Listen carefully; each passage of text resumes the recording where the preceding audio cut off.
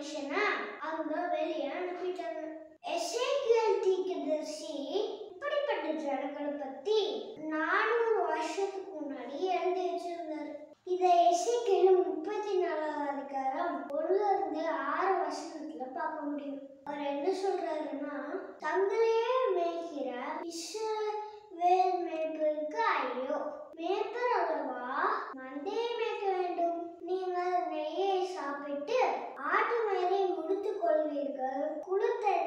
படிக்கிறீர்கள். மந்தையோ மேற்காமல் போகிறீர்கள்.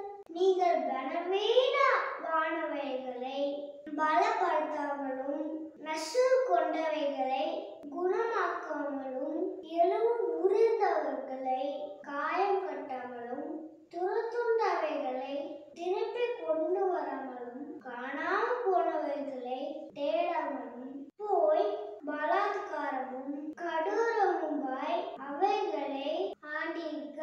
மேய்ப்பன் இல்லாததினால் அவைகள் சிதறுண்டு போனவைகள் காட்டு மிருகங்களுக்கெல்லாம் இரையாயின. என் ஆடுகள் அகல மலைகளிலும் உயரமான சகர மேடுகளிலும் அலை கொண்டு பூமியின் மீதெங்கும் என் ஆடுகள் இதனை தெரிகிறது.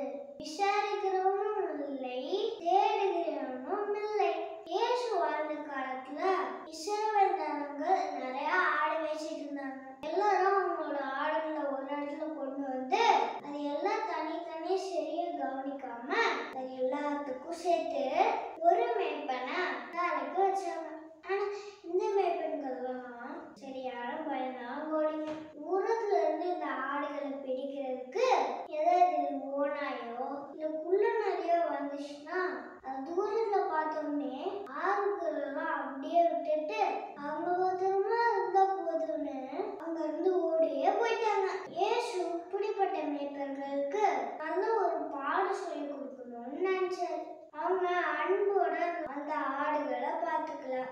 ஆனா அந்த ஆடு மேய்க்க வேண்டிய கூலியை மட்டும் சரியா வாங்கணும்னு ஆசைப்பட்டாங்க ஏசாய தீர்க்கதர்சி ஆனவர் அவருடைய பிள்ளைங்களை ஒரு மேய்ப்பன் அன்போட அவரோட ஆடுகளை பத்திரமா பாதுகாக்கிறதுக்கு என்று சொல்லியிருக்கிறார். அதுதான் நானே நல்ல மேய்ப்பன்னு இயேசு சொல்லியிருக்கிறார்.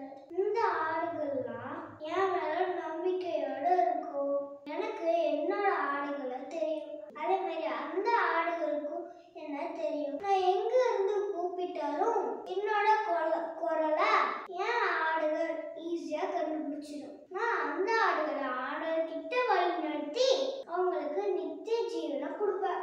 அவன் வந்து யாராலையும் பிரிக்க முடியாது. ஏன்னா பிதா அவங்கள எங்களுக்கு பிடிச்சிருக்காரு அவரு இங்க இருந்து ஒவ்வொருத்தரையும் தனித்தனியா பார்த்தாரு. இந்த உலகத்துல இந்த பிரபஞ்சத்துல எல்லாத்தையும் விட அவரு பெரியவர். பிதா கிட்ட இருந்து யாராலையும் என்னுடைய ஆடுகளை பிரிக்க முடியாது. இந்த வார்த்தைகளை கேட்ட பரிசெயர்கள் ரொம்ப கோவப்பட்டாங்க. அவங்கெல்லாம் எடுத்து இயேசு மேலே எறியறதுக்கு தயாராயிட்டாங்க.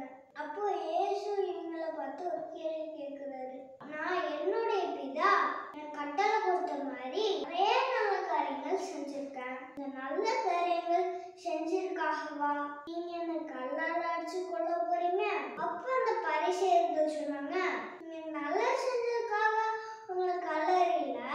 ஆனா நீங்களும் பிதாவும்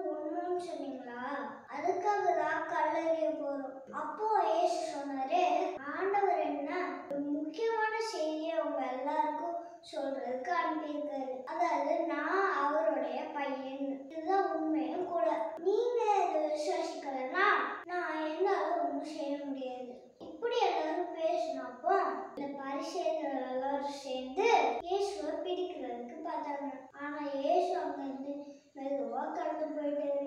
ஏசு இந்த உலகத்துல வந்து எல்லார் மேலேயும் அன்பு காட்டினாரு.